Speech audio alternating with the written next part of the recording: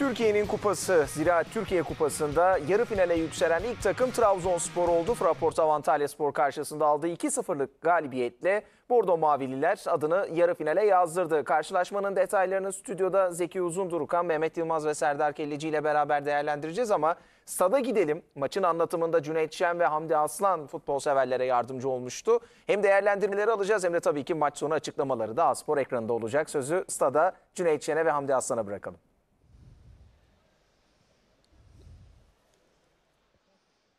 Teşekkür ediyoruz Erdem Bitiye. Stüdyodaki konuklarımıza da güzel Trabzon'dan sevgilerimizi iletiyoruz. Hocam ligden sonra kupada da yolda devam ediyor Trabzonspor. İlk yarı finalisti oldu Ziraat Türkiye Kupası'nda. Yani e, e, tabii ki çok kolay değil bu kadar e, yoğun stres yani lig bu kadar serüvenim e, oyuncu yorgunluğu, e, oyun farklılıkları, e, zor oyunlar e, ve bu bu kadar yoğun bir e, durumun içerisinde kupada kalmak Trabzonspor için büyük bir kazançtı. Yani bugün e, tabii ki Trabzonspor seçtiği oyunu e, oyunun bitimine kadar devam ettirdi. Yani ilk oyunun başlangıcındaki özellikle birinci bölgedeki baskısı, daha sonra skoru bulduktan sonra ikinci bölgeye e, çekilip oradaki baskısı Trabzonspor'un bence e, bugün yapmış olduğum en doğru saha içi planlamasıydı. Antalya Spor 1-0'a kadarki oyunuyla 1-0'dan sonraki oyununu çok daha farklı kullandı. 1-0'dan sonra daha oyunu geniş alanda kendi iç saha oyununa e, dönen bir oyun yapısı içerisindeydi ki çizgileri çok doğru kullandı. Ben tabii ki Freddy değişikliği oyunu biraz daha e, yavaşlattığını ben düşünüyorum. Yani Hakan evet önemli bir oyuncu ama Freddy ile beraber orta sahaya çok daha çabuk çok hızlı geçiyorlardı Fernando ile beraber. Daha sonra yavaşlayan bir oyunu ve yüksek oyunlarla artık e, biraz daha riskli bir oyunlara çünkü Nur Hoca tamamen hücum oyuncularıyla beraber oynanan bir oyun olunca çok fazla belki oyun yapısından e, içinde kalmayıp biraz daha skoru bulma e, düşüncesilerdi. Trabzonspor'a yine zaman zaman özellikle merkezde yapmış olduğu baskılarla bulmuş olduğu e, pozisyonlar e, tabii ki ikinci golü getirdi. Genel olarak ben tabii e, bu, yani bu kadar zorlu bir oyun içerisinde pozisyonlu e, bir akşam bence bugünün en keyifli yanlarından bir tanesiydi. İki tane teknik adam değişikliklerde özellikle birbirlerine karşı e, bence alınmış olan e, oyuncu e, farklılıklar içerisine girdi. Bu da iki teknik adamın saha içerisinde e, çok e, doğru bakışlarındandı. E, güzel bir akşam olduğunu ben düşünüyorum. İki formda takımın mücadelesiydi her şeyden önce. Son 5 maçını kaybetmemiş. İki takımın karşı karşıya geldiği maçta e, gerçekten hem Trabzonspor hem de Fraporta ve Antalya Spor keyifli bir futbol ortaya koydular. İki takım da kazanmayı çok istedi ki e, Trabzonspor Fenerbahçe deplasmanına gidecek. Fraporta ve Antalya Spor Sivas Spor'u konuk edecek. Ligde de önemli maçları var ama kupada da ideale yakın kadrolarla başlayıp sonrasında ilk 11 oyuncularını da sahaya sürerek e, keyifli bir mücadele örneği sergilediler diyebiliriz herhalde hocam. Yani evet e, yani gerçekten bu e, zorlu süreç içerisinde maç yoğunluğunda e, Trabzonspor'un hedefi belli. Antalya Spor bir an önce artık kendi bölgesinden çıkmak istiyor. Bu yoğunlukta yine kendi oyuncularıyla e, çok fazla e, rotasyon kullanılmayıp e, yoğun bir oyuncu grubuyla oynamaları e, bence oyuna değer kattığını e, düşünüyorum. E, yani tabii ki iki takımın da e, bugünkü oyunu e, bence beklediğim bir oyun içerisindeydi. Yani evet Trabzonspor belki çok tempolu oynamadı. Bugün Canini biraz daha oyunun başında Trabzonspor'un oyunda kalmasındaki en önemli etkendi. Viska ona çok yardımcı oldu. E, Koasis'in oyunu bence e, bundan sonra Trabzonspor'un e, kullanabilecek olduğu bir oyuncu olduğunu düşünüyorum. Yani bugün e, Berat ve Siopis çok yoruldu. Yani fiziksel anlamda bence o bölgeyi zaman zaman kaybetmelerindeki en büyük etkendi. E, yani Abdullah Hoca'nın o bölgede o tip oyuncusu olsaydı bence o bölgede bir değişiklik içerisine gireceğini düşünüyorum. Ama buna rağmen Berat da ikinci gole imzasını attı hocam. Bu Yani- yorgunluğa rağmen. Yani Berat'ın e, taraftardan da Berat taraftarın Berat'tan beklediği bence veya benim de e, kendi düşüncem Berat'ın birazcık alsı- olsun ön bölgeyi artık zorlaması gerekiyor. Yani bakıldığı zaman Gençler Birliği performansına özellikle e, yani şut anlamındaki e,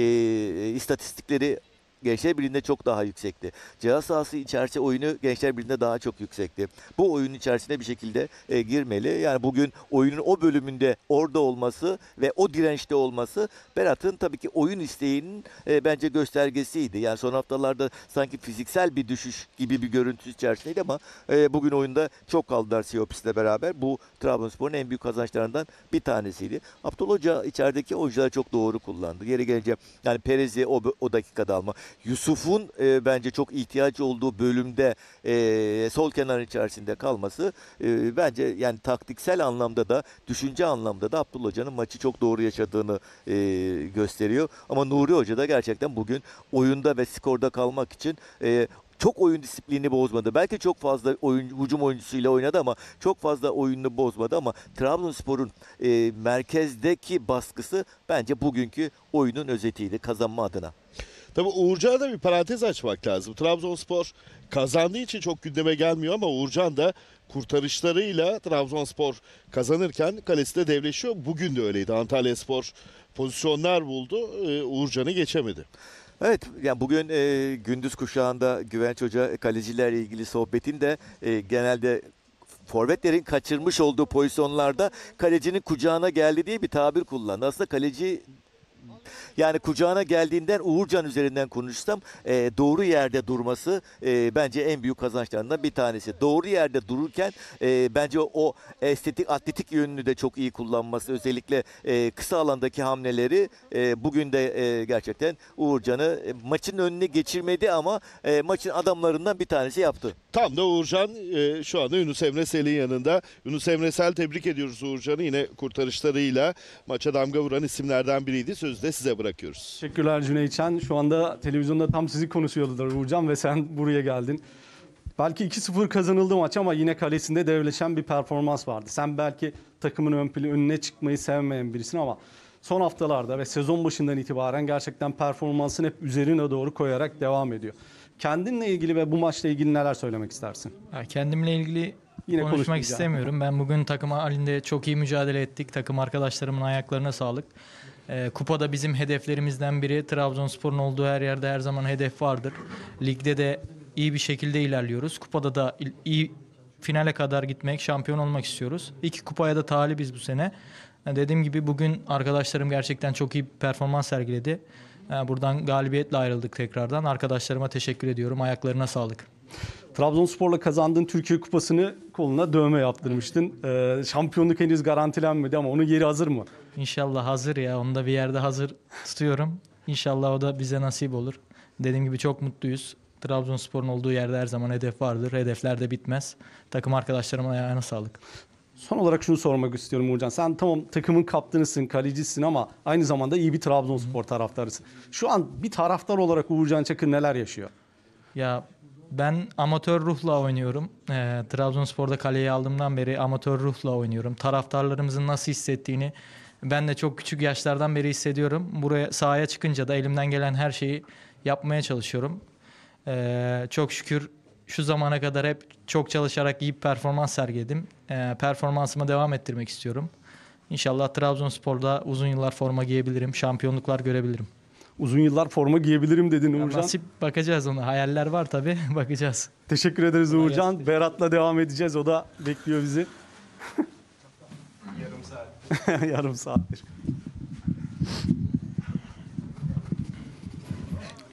Berat hoş geldin öncelikle.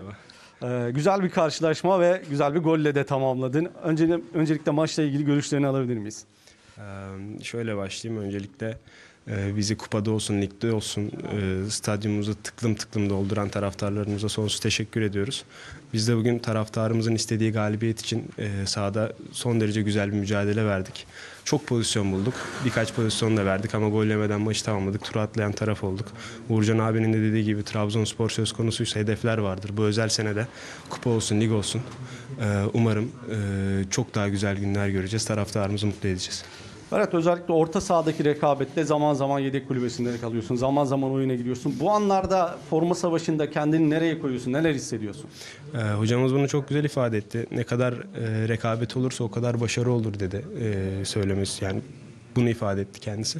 Ben de hocamız forma şansı verdikçe Trabzonspor Kulübü'nü, camiasını en güzel şekilde temsil etmeye çalışıyorum. Kim oynuyor, kim oynamıyor önemi yok. Burada asla egomuzu konuşturamayız çünkü çok özel bir sene.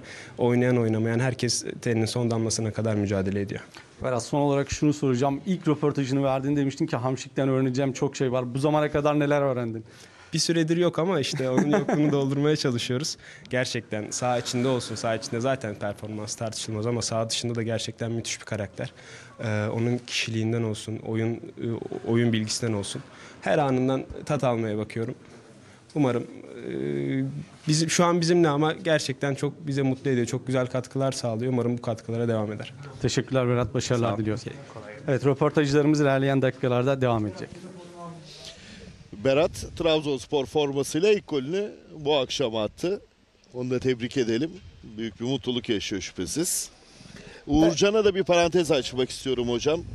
Ee, Avrupa Şampiyonası'ndan dönüşte izinliydi. Tatilini Antalya'da geçiriyordu. Antalya'da biliyorsunuz Gençler e, Şampiyonası vardı. Trabzonspor'un her maçına geldi. Tatildeyken bile Trabzonspor'la yaşayan bir isim ki o amatör duygular içerisinde mücadele ettiğini de söyledi zaten.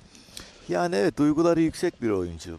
Ee, yani oyuna katmış olduğu değer, kulübe katmış olduğu değer e, tabii ki bunları çok daha farklılaştırıyor. Çok kolay değil bu genç yaşta e, kaptan olmak e, gerçekten bu bu denli oyuncular için çok çok önemli. O e, bağlılığı, o e, kulübe olan o temsil duygusunu daha yukarıya çekiyor.